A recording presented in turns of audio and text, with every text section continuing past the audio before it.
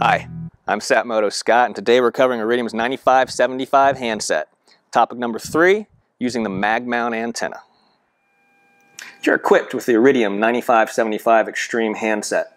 You want to make calls while you're driving down the road, and this is easily done with the assistance of a magnetically mounted antenna known as a mag mount antenna. Looks like a hockey puck with a pigtail on the end of it. Of course, it sticks to any metal surface. It's a very strong magnet, so it won't come off while you're driving at speed down the road.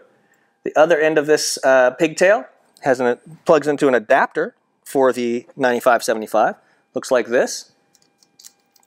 Has a little dongle sticking out of the side of this clip here.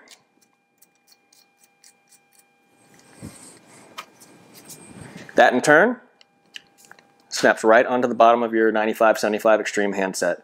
Now I'm ready to go. As soon as I pull out of this garage, I'm going to start making some calls.